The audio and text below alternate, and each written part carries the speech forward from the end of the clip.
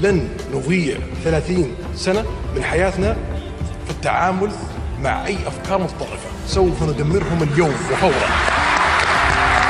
जगह की निशानदेही की गई है house of Abu Bakr Siddiq रदी अल्लाह तआला अन्हु और हम बिल्कुल उसी जगह पर मौजूद हैं लेकिन यहाँ पर कोई इस तरह की कोई आ, चीज न- देखने को नहीं मिली दुनिया भर से सनातन धर्म की सारी खबरों से रहना चाहते हैं अपडेट तो सब्सक्राइब करें द साइंटिफिक हिंदू को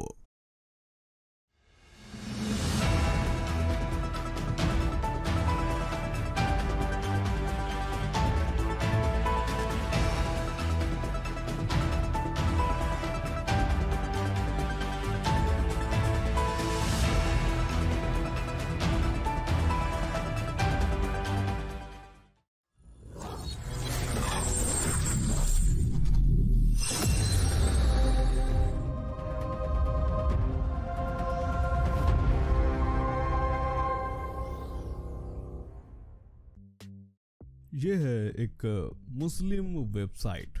मुस्लिम वेबसाइट में इसे इसलिए कह रहा हूँ क्योंकि इसका नाम है मुस्लिम मिरर।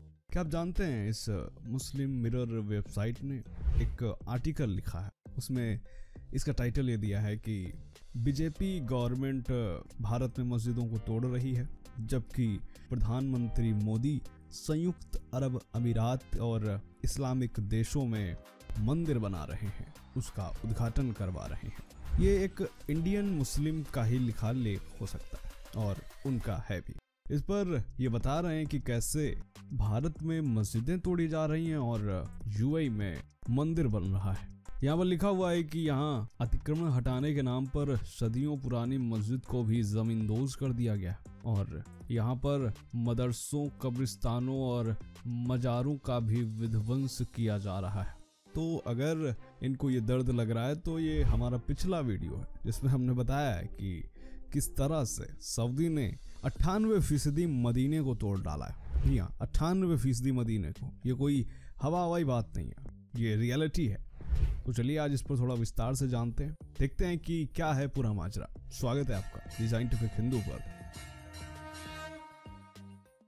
मेरा नाम है धीरेन्द्र और आप देख रहे हैं दी साइंटिफिक हिंदू। तो दोस्तों, वीडियो के स्टार्टिंग में हमने जिस आर्टिकल की बात की, जिसमें वो कह रहे हैं कि भारत में मस्जिदें तोड़ी जा रही हैं तो चलिए उनको थोड़ा हकीकत भी दिखा देते हैं। ये देखिए, यहाँ पर सऊदी अरब के शहर कतीफ में शिया मुसलमानों की एक और मस्जिद को ध्वस्त कर दिया।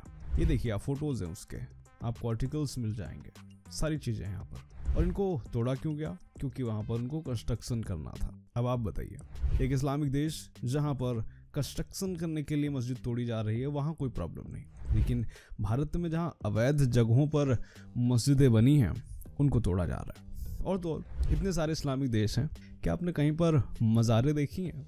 यहाँ तो रेलवे स्टेशन के पास मज़ार, मंदिर के पास मज़ार, स्कूलों में मज़ार यूनिवर्सिटीज़ में मज़ार, हर जगह मज़ारें मज़ारें। तो अगर आपको इससे दिक्कत है तो आपको अपनी मज़ारे बनानी नहीं चाहिए। बनाया भी तो उनको तोड़ डालो खुद। रोड पे अगर किसी का घर होगा तो सरकार क्या करेगा? सर उसको तोड़ देंगे। सिर्फ़ मस्जिद तोड़ा जा रहा है कि घर भी तोड़ा जा रहा है? घर भी तोड़ रहा है लेकिन सर घर को मस्जिद से क्यों जोड़ेंगे आखिर? हाँ अभी थोड़ा सा और आपको आईना दिखाते हैं। हम सऊदी अरब की बात नहीं कर रहे अभी हम यूनाइटेड अरब अमीरात यानी यूएई की बात कर रहे हैं। वहाँ पर भी कंस्ट्रक्शन के लिए तमाम मस्जिदों को तोड़ा गया और तो और यूएई में मस्जिदें इतनी हैं भी नहीं जितनी भारत में। दुनिया भर में सबसे ज़्यादा मस्जिदें अगर कहीं हैं तो वो भारत में ही हैं। उदाहरण के लिए अगर आप समझना चाहें कि यूएई में कितनी मस्जिदें तोड़ी गई हैं तो इसको आप इस आर्टिकल से समझ सकते हैं। जहाँ पर 2015 में यूएई में कुल एक सौ तिरासी मस्जिदें थी, लेकिन 2019 आते आते ये सिर्फ़ एक ही बची। यानी कि कई मस्जिदों को यूएई सरकार ने भी जमकर तोड़ा है। इसके अलावा ईरान और इराक जैसे देशों में तमाम मस्जिदें तोड़ी जा रही हैं कंस्ट्रक्शन के लिए। और तो और, उन मस्जिदों में कोई जा नहीं रहा है। लेकिन भारत में अगर कोई मस्जिद या मज़ार हटा दी जाती है तो इन सो कॉल्ड मुस्लिम परस्त लोगों को काफ़ी ज़्यादा समस्या हो जाती है। या हमको के ज़रिए मिटाने की कोशिश की जा रही है। और तो और अभी चेन्नई में भी एक मस्जिद तोड़ी गई थी और बाकायदा उस पर सुप्रीम कोर्ट का आदेश आया था। लेकिन फिर भी वक्फ बोर्ड ने कहा था कि ये तो गलत है, यानी कि अब देश कैसे चलेगा, इसका ठेका वक्फ बोर्ड लेगा, ले भी रहा है।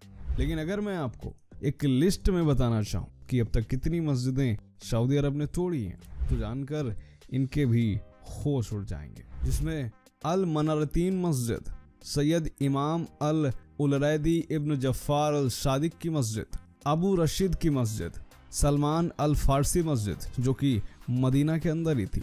रजत अशम्स मस्जिद ये भी मदीना की मस्जिद है।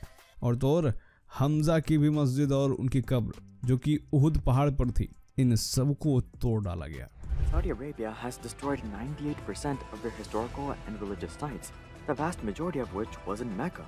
If this number was 5 or 10%, you may be able to argue that there's no agenda. But at 98%, there's clearly something going on here.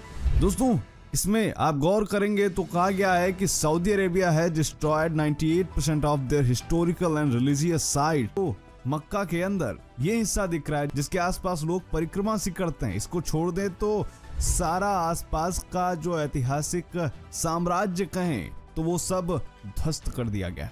यानी सऊदी अरब पूरी तरह से अपने इतिहास को ही मिटाना चाहता है। इसके बारे में एक रिसर्चर ने ये कहा है कि सऊदी सरकार अपने इतिहास को पूरी तरह से वाइप आउट करना चाहती है। यानी, पूरी तरह से मिटा देना चाहती है। ये सारे उदाहरण काफ़ी हैं कि सऊदी अरब क्या करना चाहता है। ये सारी की सारी जगह मक्का के जो मुख्य मस्जिद है, उसी के आसपास की हैं। यानी, मक्का में सिर्फ़ काबे की जगह को छोड़ दिया जाए हज करने जिसके लिए लोग आते हैं उस जगह को छोड़ दिया जाए तो अब वहाँ कुछ नहीं बचा है। पूरा का पूरा इतिहास को वाइप आउट कर दिया सऊदी सरकार और सबसे बड़ी बात यह है कि न सिर्फ़ ये उस साइट को मिटा देते हैं ऐतिहासिक घर तोड़ देते हैं फिर चाहे वह मोहम्मद साहब का ही घर हो अली का घर हो उनकी कब्रें हो ये सिर्फ़ इसको ध्वस्त नहीं करते हैं बल्कि इसकी जगह पर होटल बना देते हैं और तो और टॉयलेट बना देते हैं। For example, they destroyed the house of the Prophet's first wife in order to build public toilets. ऐसी तमाम चीज़ें हैं और तमाम ऐसी लंबी लिस्ट हैं जिनको सऊदी अरब में तोड़ा गया। लेकिन इससे इनको कोई दिक्कत नहीं है। दिक्कत किससे है? सिर्फ़ और सिर्फ़ भारत से। भारत में अगर कोई इलीगल और अवैध मजार भी बनाई जाती है तो उसका भी ध्वस्तीकरण नहीं होना चाहिए। मंदिर भले तोड़ दो, उससे कोई समस्या नहीं। अगर आप मंदिर तोड़ देते हैं तो वो तो सेकुलरिज्म का प्रतीक है। लेकिन अगर आप इन अवैध जगहों को तोड़ते हैं तो फिर दिक्कत होने वाली है। और अगर आप पुलिस बल भेजेंगे तो हल्द्वानी में जो कुछ हुआ, ऐसा ही ये लोग और भी करेंगे। तो इसे क्या समझा जाए? ये करना क्या चाहते हैं? शायद इसके बारे में आप अच्छे से जानते हैं। दोस्तों, उम्मीद करते हैं यह वीडियो आपको पसंद आया होगा। कैसा लगा कमेंट करें। मिलते हैं आपसे अगले वीडियो में, तब तक के लिए जय हिंद, जय भारत। वंदे मातरम।